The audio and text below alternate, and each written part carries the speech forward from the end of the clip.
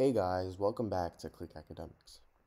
In today's video, I'm going to be teaching you guys how to solve this exponential equation. And make sure to stick until the end of the problem, where I have three bonus problems that are similar to this one, which you guys can try to solve. Alright, so I have x to the power of x to the power of 4 is equal to 64. Now, the first thing I'm actually going to do is I'm going to take the power of 4 on both sides. So I have x to the power of x to the power of 4 to the power of 4 is equal to 64 to the power of 4. Now, if I have something in the form a to the power of m to the power of n, this is the same thing as a to the power of m times n. And m times n, these two are interchangeable, meaning this is the same thing as a to the power of n times n. And if I can rewrite a to the power of m times n as a to the power of m to the power of n, then this means that I can rewrite a to the power of n times m as a to the power of n to the power of m. So to put this into simpler terms, a to the power of m to the power of n, this is the same thing as a to the power of n to the power of m. So for our equation here, I can think of x to the power 4 here as m and 4 as n. So now, because I can switch these two places together, I'm going to rewrite this as x to the power 4 to the power of x to the power 4. Now this is equal to 64 to the power 4. So all I did was I switched the places of x to the power 4 and 4. Now, 64 this is the same thing as 8 to the power of 2. So now I have x to the power of 4 to the power of x to the power of 4 is equal to 8 to the power of 2 to the power of 4. Now, if I have something in the form a to the power of m to the power of n, this is equal to a to the power of m times n. So a to the power of 2 to the power of 4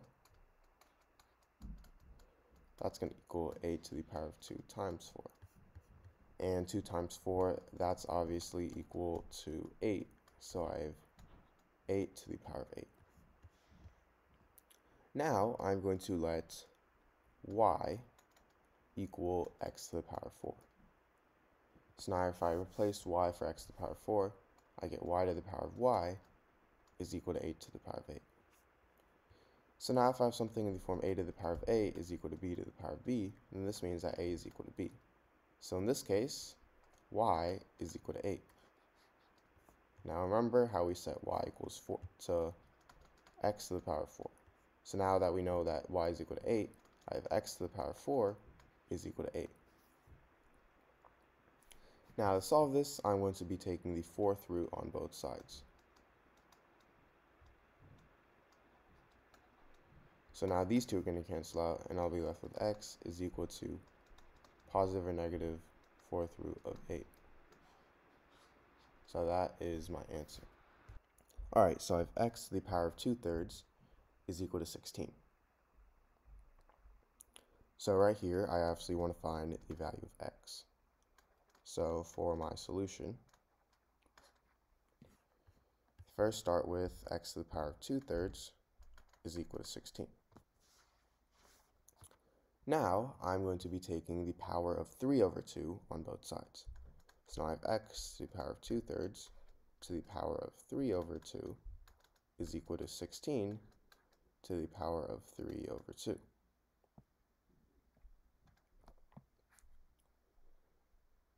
Now, if I have something in the form a to the power of m to the power of n, this is the same thing as a to the power of m times n. So in this case, x to the power of 2 thirds to the power of 3 over 2, that's going to be the same thing as x to the power of 2 thirds times 3 over 2. This is equal to 16 to the power of 3 over 2.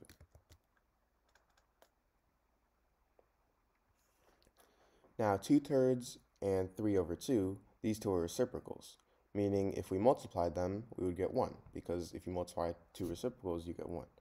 So let's test this out. 2 thirds times 3 over 2, 2 times 3 is 6, and 3 times 2 is 6. So I have 6 over 6, which is equal to 1.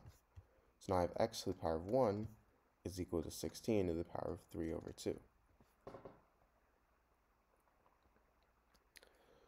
Now, x to the power of 1 is the same thing as x, so I have x is equal to 16 to the power of 3 over 2.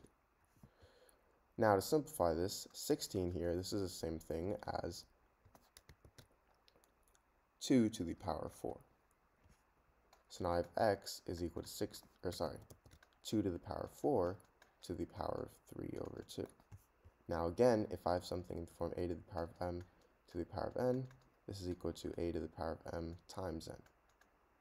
So 2 to the power of 4 to the power of 3 over 2, that's going to equal 2 to the power of 4 times 3 over 2. And now 4 times 3 over 2, this is the same thing as 4 over 1 times 3 over 2. 4 times 3 is 12, and 1 times 2 is 2, so 12 over 2, which is equal to 6. So now I have x is equal to 2 to the power of 6. And 2 to the power of 6, well, 2 to the power of 1, this is equal to 2. 2 to the power of 2, this is equal to 4. 2 to the power of 3, this is equal to 8. 2 to the power of 4, this is equal to 16. 2 to the power of 5, this is equal to 32. So notice how it doubles every time. So 2 to the power of 6 would be double of 32, which is going to equal 64. So I have x is equal to 64. Now to check, my original equation was x to the power of 2 over 3 is equal to 16. Now that we know that x is equal to 64, I have 64 to the power of 2 over 3 is equal to 16. Now, 64 to the power of 2 over 3 this is the same thing as 64 to the power of 2. Actually, it's the same thing as the cube root of 64 to the power of 2. And now this is equal to 16. Now, the cube root of 64 to the power of 2, well, to do that, I first have to find the value of 64 to the power of 2. And 64 to the power of 2 that's going to equal 4096. So now I have the cube root of 4096. And now the cube root of 4096, this is actually equal to 16. Sorry, 16 is equal to 16, meaning our answer is right. Alright, so I have 8 to the power of x is equal to 16. So right here, I want to find the value of x. So for the solution, I first start with a to the power of x is equal to 16. Now, the simplest way to actually solve this problem is to make both of these bases the same. So right now, our two bases are 8 and 16. And I want to find a common base to change both these bases to. Well, 8 here, this is the same thing as 2 to the power of 3. And 16 this is the same thing as 2 to the power of 4. So now if I replace 8 to the power, if I replace 8 with the power with 2 to the power of 3, and if I replace 16 with 2 to the power of 4, I get 2 to the power of 3 to the power of x is equal to 2 to the power of 4. Now, if I have something in the form a to the power of m to the power of n, this is equal to a to the power of m times n. So 2 to the 3 to the power of x, that's going to equal 2 to the power of 3 times x. This is equal to 2 to the power of 4.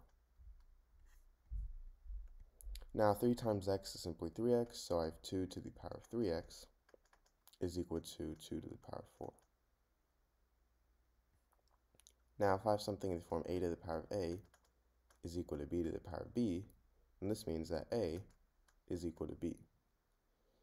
So in this case, 3x is equal to 4. Now to solve this, all I have to do is simply divide both sides by 3, and I get x is equal to 4 over 3.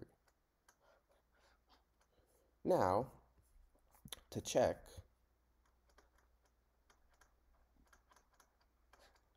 my original equation was 8 to the power of x is equal to 16.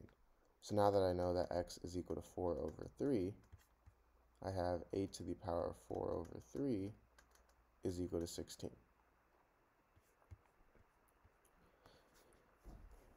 Now, 8 to the power of 4 over 3, that's the same thing as 8 to the power of 4 cube root of that, which is equal to 16.